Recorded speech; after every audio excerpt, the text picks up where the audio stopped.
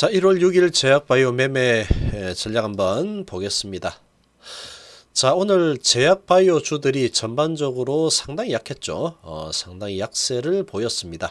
오늘 이란, 미국이 이란을 공격하면서 업종 대표주들이 아주 강한 모습을 보이다가 어, 그 소식이 나오면서 이 전방 산업주들도 조금 약한 모습으로 어, 전환을 했죠.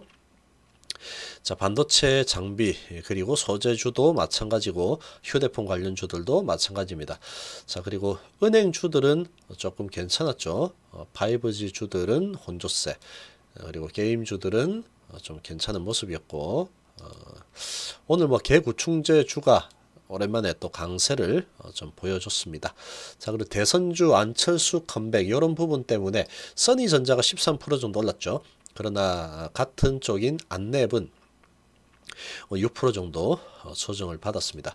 자, 지금 제약 바이오 주들은 이 이란 공격 소식이 나오기 전부터 해서 이 기, 외국인이 상당히 매물을 많이 던졌습니다. 그러면서 어, 상당히 약한 모습을 좀 보였죠. 자, 보이다가 이란 공격 소식이 나오면서 어, 제약 바이오 주들도 어, 더 가파르게 약세로 전환하는 종목들이 점점 많아지는 어, 그런 모습을 어, 보여줬습니다. 자 오늘 외인 기관들이 아주 그냥 작정을 하고 때렸죠 코스닥. 예, 외국인이 1,300억, 기관이 1,400억 정도 때려댔습니다. 이 부분에 제약바이오가 엄청나게 많이 얻어맞았습니다. 자 먼저 HLB 부터 한번 보겠습니다. 자, HLB 오늘 외국인이 18만 주, 기관이 16만 주, 어, 투신 2만 4천, 사모펀드 8만, 금투가 5만 주 정도 매도했습니다. 자, 외인기업 상끌이 매도가 강하게 나오면서 거래량 170만 주에 5% 정도 제약바이오 중에서도 좀 많이 하락을 한 편이죠.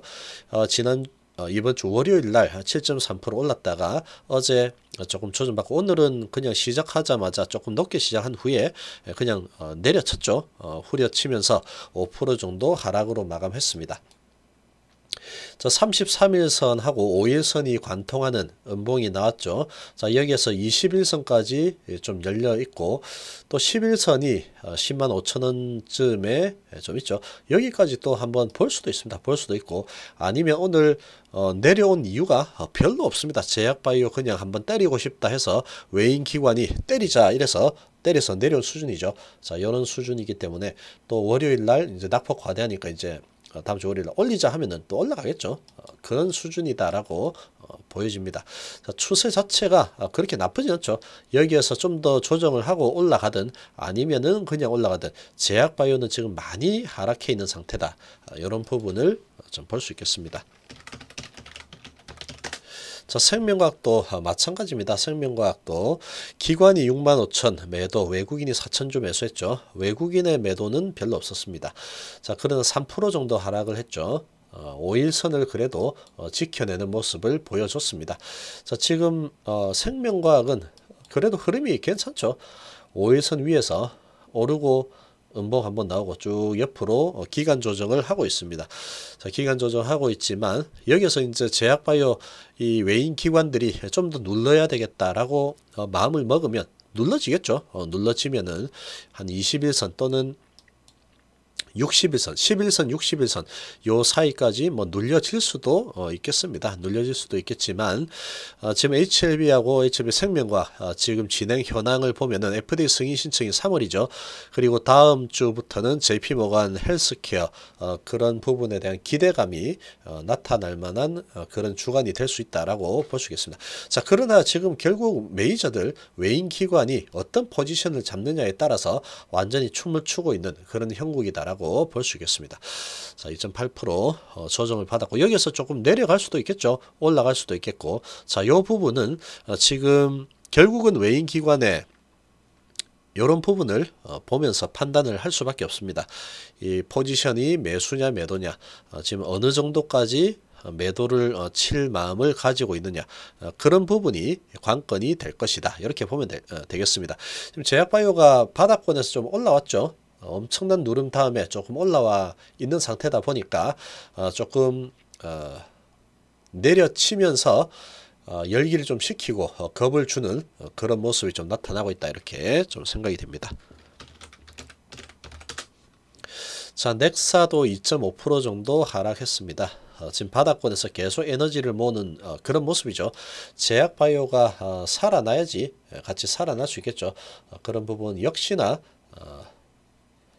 메이저들의 어, 이런 매수, 매도 어떤 포지션이냐 외인 기관의 어, 특히 외국인이 크게 좌지우지한다 이렇게 보면 되겠습니다. 자 그래도 뭐 21선 위에서 잘 버티고 있죠. 이렇게 버티면서 진행이 되다 보면은 어느 시간이 일정 시점 흐르고 나면은 다시 상방으로 갈 확률이 높다라고 보여집니다. 자, 셀트리온은 외인이 2만 주 팔고 기관이 어, 9만 6천 주나 팔았습니다. 자, 그러면서 1.4% 정도 어, 하락을 했죠. 11선. 그리고 이제 180에서 61선 정도까지 예, 조금 어, 열려 있죠. 어, 요 정도 터치를 하게 되면은 이제 상승 흐름을 어, 좀탈 수도 있고 아니면 여기에서 또 어느 정도 짓누를 수 있겠죠. 제약바이오 전반적으로 어, 좀 짓눌렀다가 어, 가야 되겠다. 그렇게 판단을 한다 그러면 어, 그럴 수도 있습니다. 어, 그럴 수도 있겠죠. 그러나 셀트리온도 지금 보면은 241선 하고 단기 이평선, 장기 이평선이 상당히 많이 모여 있죠. 모여 있기 때문에 방향 자체는 상방으로 돌아설 가능성이 아주 크다. 이렇게 예, 볼수 있겠습니다. 환경 자체도 그렇고 올해부터 해서 램시마 SC 이런 부분이 예, 또 어, 기대가 되고 있기 때문에 좋은 흐름이 나타날 거다. 이렇게 볼 수 있지만 당장 내일 어, 내일 모레 월요일부터 어, 그런 상황이 나타날지 아니면은 어, 시간이 좀 더 필요할지 그거는 외국인의 이런 포지션 그리고 기관의 포지션에 많이 좌지우지 될 거다. 그러나 방향성은 큰 방향성은 상방일 가능성이 크다. 이렇게 어, 생각이 됩니다. 헬스케어도 마찬가지죠. 어, 2% 정도 하락했습니다. 코스닥에 있다 보니까 어, 좀더 많이 빠졌죠. 8만 주, 8만 7천 주 외인 기관 매도 나오면서 음봉 4개 연속으로 나왔습니다. 자, 이제 음봉이 181선을 어, 뚫었죠. 어, 몸통을 통과하는 어, 모습이 나왔습니다. 어, 4일 정도 음봉이 어, 계속 좀 많이 나온 편이기 때문에 여기서 좀 더 뭐 나타나면 61선 어, 한번 볼 수 있겠죠. 어, 볼수 있겠지만 여기에서 조정을 끝내고 어, 바로 올릴지 이런 부분 역시 외인 기관에 어떤 마음을 먹느냐 여기에 좀 달려 있다 이렇게 좀 볼 수 있겠습니다.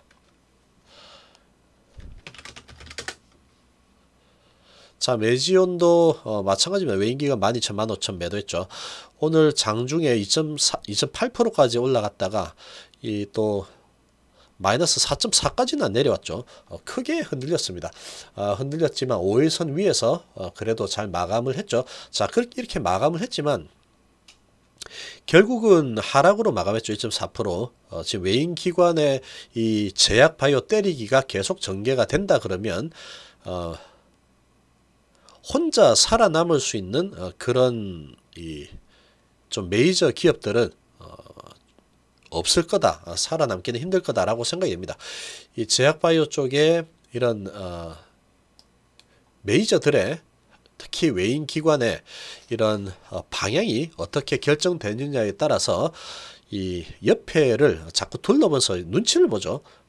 메지오는 HLB 눈치, HLB는 메지오 눈치, 또 뭐 셀트는 눈치 이렇게 계속 뭐 눈치를 보면서 움직이기 때문에 어, 제약 바이오가 좀 살아나야지 여기에서 이제 이틀간의 조정을 마무리하고 어, 뻗어 올라갈 수 있다 이렇게 생각을 어, 해볼 수 있겠습니다. 그래도 오늘 제약 바이오주들 중에서는 어, 선방을 한 모습입니다. 어, 그래도 아주 강하게 마무리를 했다 이렇게 볼 수 있고 기술적으로도 5일선을 깨지 않았죠. 어, 요 부분이 어, 지켜진다 그러면 이 제약 바이오 전반적으로 어, 차주에 좀 좋은 흐름이 나타날 수도 있다. 그러나 조금 조정하겠다 그러면 차주 초에는 좀 조정을 하다가 차주 후반 가서 JP 모간 컨퍼런스 어, 모멘텀으로 올라갈 수도 있겠죠. 자 그런 부분은 메이저들의 어, 스탠스에 달렸다 이렇게 볼 수 있겠습니다. 자 헬릭스미스도 마찬가지죠. 오늘 장중에 오전에 좋았습니다. 고가 2.4%까지 갔었죠. 그러다가 결국은 3. 3%나 어, 밀렸습니다. 쭉 잘 타고 올라서고 있다가 60일선까지 잘 뚫어냈는데 여기서 그냥 밀려버렸죠. 오늘 뭐 남아난 기업이 거의 없습니다. 아, 전부 다 이런 모습을 만들어냈죠. 누가? 외인 기관이 만들었습니다. 외인이 3만, 기관이 4만 매도하면서 어, 3% 정도 좀 크게 놀죠. 자, 그럼 5일선에 터치하면서 어, 이제 지지를 받는 모습을 좀 보여줬습니다. 자, 여기에서 이제 차주에 바로 돌릴지는 마찬가지입니다. 제약 바이오 전반적으로 어떻게 핸들링을 할 거냐 단기적으로는 메이저들의 입맛에 따라갈 수밖에 없는 그런 형국이다 이렇게 예, 볼수 있겠죠. 자 그러나 제약바이오주들 어, 전반적으로 좀 조정을 보인다고 해도 큰 물줄기는 상방으로 갈 확률이 아주 높습니다. 워낙에 많이 눌려 있죠. 한 번은 어, 좀 상방으로 어, 흘러갈 가능성이 크다 이렇게 생각이 됩니다. 자, 신라젠도 뭐 똑같죠. 어, 제약바이오는 그냥 한 몸이나 마찬가지입니다. 3.5% 정도 하락하면서 어, 21선 몸통을 통과했습니다. 계속 또 이제 올라서는 모습에서 또 횡보하는 모습으로 바뀌었죠. 횡보가 어느 정도 진행이 되면 또 올라서겠죠. 어, 이런 모습이 계속 전개 될 걸로 보여집니다. 외인 기관 오늘 외인 기관이 주범이죠. 3만 8천 20만 38만 20만 주 매도했습니다. 자, 셀리버리가 그래도 좀 선방했습니다. 0.3% 올랐죠. 외인 기관이 크게 영향을 미치지 않는 그런 어, 종목이다 이렇게 볼 수 있겠습니다. 외인 390, 기관이 430이죠. 자, 이렇게 눈치를 좀 보면서 제약 바이오주들이 전부 다 어, 좀 좋지 않은 모습을 보이니까 혼자 올라, 올라가기가 좀 힘들었겠죠. 자, 3.7%까지 오르다가 어, 강보합 수준으로 마감했습니다. 마찬가지죠. 제약 바이오가 전반적으로 살아나지 못하면 혼자 가기는 쉽지 않습니다. 지금 이제 JP모건 컨퍼런스에서 이 다케다하고 어, 에로가 어 만들어질 가능성이 좀 크다. 이렇게 좀 보고 있죠. 어 그런 부분 때문에 이렇게 좀 올라서고 있는 모습이다. 이렇게 볼 수 있겠습니다.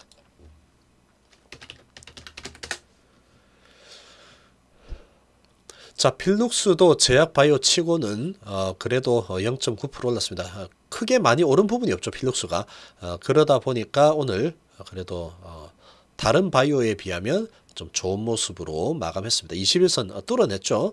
자, 그렇지만 마찬가지죠. 어, 제약 바이오 좀 살아나야지 강한 반등이 나타날 거다. 그러나 다른 제약 바이오에 비하면 어, 지금 위치적으로는 상당히 양호합니다. 오늘 어, 21선도 뚫어내고 240선도 뚫어내면서 외인이 또 들어왔죠. 기관도 들어오고 어, 방해꾼이 별로 없었습니다. 필룩스는 어, 그냥 이제 다른 제약바의 눈치를 좀 보면서 어, 1% 정도 올랐다. 이런 어, 흐름이기 때문에 필룩스는 어, 좀 강한 흐름이 나타날 수도 있는 어, 그런 모습에 좀 근접해 있다라고 좀 생각이 됩니다. 자, CMG 제약 4% 내렸죠. 어, CMG 제약도 최근에 좀 올라섰기 때문에 어, 다른 바이오 똑같이 내렸습니다. 외인 기관 16만, 11만 매도하면서 어, 좀 내려섰지만 지금 위치적으로는 어, 양호하죠. 어, 그렇게 나쁘지 않습니다. 가는 과정에서 좀 올라가다가 또 눌리는 어, 그런 모습이죠. 조금 더 눌릴 수도 있는 어, 그런 위치에 있습니다. 5일선을 지켜줄지 아니면은 어, 좀 눌림을 당할지 이런 부분은 어, 메이저 특히 외국인의 손에 달렸다라고 생각이 됩니다. 자, 이제 오늘 전반적으로 이 제약바이오가 많이 하락을 했죠. 별다른 이유 없이 외국인이 많이 하락시키고 싶다. 오늘 조금 우울하다. 이런 마음으로 그냥 밀어버렸기 때문에 월요일날 어, 또 이제 기분이 좋다. 그러면 바로 올릴 수도 있는 그런 상황입니다. 자, 이런 부분 어, 외인 수급을 어, 좀 주시할 필요가 있다. 이렇게 생각이 됩니다. 자, 바이오랜드, SK 바이오랜드도 어제 오른 부분 있기 때문에 2% 내렸죠. 외인이 2만 주 팔고 기관이 5천 주 정도 들어왔습니다. 자, 지금 제약 바이오들의 모습을 보면은 대부분 이렇게 좀 좋지 않습니다. 이 음봉이 이런 식으로 나왔죠. 어, 그래서 시작 자체가 월요일에는 조금 낮게 시작을 하거나 아니면은 어, 언저리 시작해서 음봉이 좀 나타날 수 있을 가능성이 좀 많아 보이죠. 자, 그런 이제 그렇게 좀 밀어내리다가 또 밑꼬리를 달 수도 있습니다. 이런 부분은 알 수가 없죠. 오늘 외인 기관의 물량이 상당히 많이 나왔기 때문에 또 바로 돌아설 수도 있는 어, 그런 입장이다라고 어, 볼수 있겠습니다. 자, 하나제약은 오늘 제약바이오주들 어, 그리고 시장도 전반적으로 조금 어, 좋지 않으면서 0.2% 정도 하락으로 마감했습니다. 자, 얘는 뭐 움직임이 별로 없죠. 어, 이제 2020년 들어섰기 때문에 어, 동남아 레미마졸람 어, 판권 어, 그 부분에 대한 소식이 나오면 이제 좀 움직이지 않을까 이렇게 생각이 됩니다. 자, 유한영행 어제에 이어서 오늘도 운봉이 나왔습니다. 외국인은 5,800 들어왔지만 기관이 팔았죠. 기관이 팔면 얘는 좀 떨어지죠. 기관이 5,700 팔면서 어, 고점에서 제약바이오는 많이 눌렸죠. 눌리다 보니까 유한양행도 혼자서 가기는 좀 아주 뻘쭘한 그런 상황이었습니다. 자, 11선에서 어, 또 몸통이 11선을 관통하면서 이렇게 마감이 됐죠. 21선 정도까지 좀 볼 수 있는 그런 모습입니다. 아, 그런 모습이죠. 자, 이런 흐름이 조금 더 전개된다 그러면 어, 제약바이오가 어, 월요일도 어, 조금 좋지 않은 흐름이 나타난다. 그러면 이제 조금 더 조정하겠죠. 여기서 어, 바로 올릴지 아니면은 월요일 날 어, 바로 회복을 하는 모습을 보일지 이 그런 부분은 어, 결국 외국인들 손에 달려 있다. 그러나 아무튼 오늘 제약바이오 주들 어, 상당히 별다른 이유 없이 엄청나게 크게 많이 이, 두들겨 맞았다 이렇게 좀 볼 수 있겠습니다. 어, 그동안에 좀 오른 부분 거의 많이 까먹었죠. 특히 HLB 어, 이런 상황이기 때문에 이 바로 또 반등을 또 줄 수도 있습니다. 좀 오른 부분 바로 반등을 주면서 어, 몸통 속에서 양봉이 나타날 수도 있겠죠. 어, 충분히 그럴 수도 있고 아니면 어, 한 번더 어, 조금 눌려진 다음에 또 올라갈 수도 있고 어, 그런 상황일 거다라고 어, 좀 생각이 됩니다. 자 오늘 제약바이오 전반적으로 한번 살펴봤습니다. 감사합니다.